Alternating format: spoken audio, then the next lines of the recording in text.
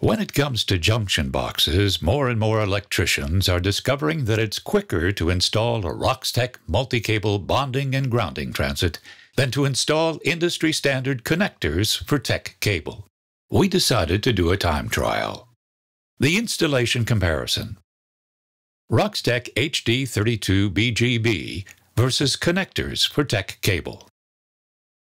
Electricians Lauren Riley and Matt Lister of Tarpon Energy Services in Calgary, Alberta, Canada, agreed to perform the installations in front of the camera. Before starting, they made way for 27 cables and a ground wire in the bottom of each stainless steel enclosure, one opening for the Roxtec seal, and 28 half inch holes for the connectors.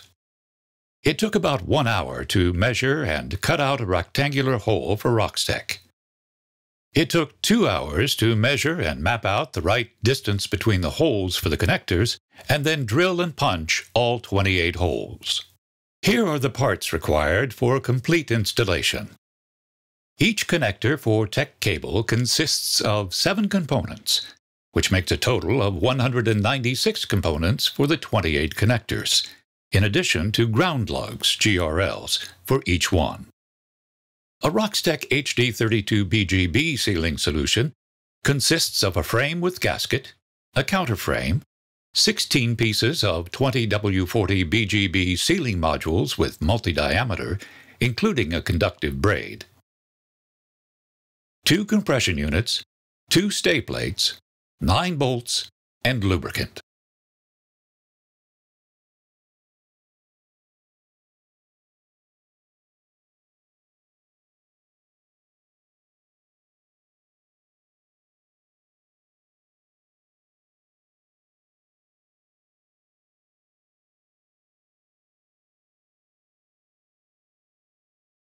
Lauren Riley will perform the installation with connectors for Teck cable. Let's see how it goes. The first two connectors take 4 minutes to install, and the first row of connectors is ready after 13 minutes. The second, third, and fourth rows are completed after 1 hour, 9 minutes, and 24 seconds. Lauren strips the cables to loop each of the ground wires through the GRLs in order to maintain a consistent bond, and then he connects them all to ground via the ground bar at the back of the enclosure. He finishes the installation of the 27 cables and the ground wire in 2 hours, 36 minutes, and 20 seconds. Okay, it's time for Roxtec the challenger when it comes to sealing, bonding, and grounding of all kinds of armored and metal clad cables. Matt Lister will perform the installation. Now let's see how the Roxtec installation goes. Matt has installed Roxtec BGB solutions before, but not as many times as he's installed connectors for Teck cable. He installs the Roxtec HD32 frame in 2 minutes and 25 seconds. Matt peels off layers from the sealing modules to adapt them to the correct cable sizes. He prepares all modules directly so as to be able to route all cables at the same time. This can be done with Roxtec. It's possible to adjust modules later on, while connectors must be fixed right away. After 23 minutes, all cables are prepared. He now fills the opening inserting the first half of the sealing module, followed by the cable, and then the other half of the module.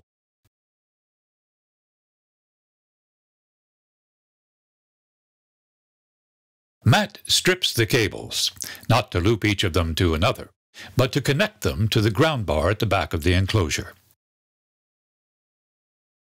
He finishes the installation of the 27 cables and the ground wire in 1 hour 13 minutes and 43 seconds.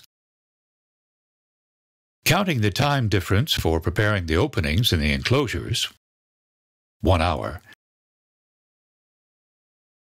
and for installing the cables, 1 hour and 23 minutes,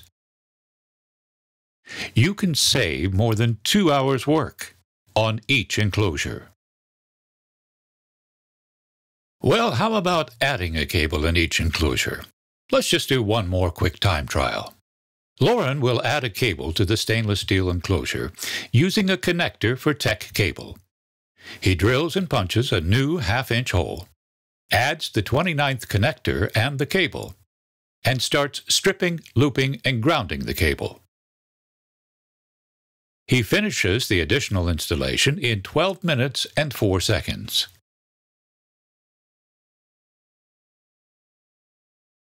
Matt will add a cable to the stainless steel enclosure with the Roxtec HD32 seal. It has an optional built-in spare capacity for future needs. This means that Matt can open up the seal, remove a spare module, use it to add the new cable, and then reseal it all again. He then strips the cable to connect it to the ground bar at the back. He finishes the additional installation in 6 minutes and 39 seconds.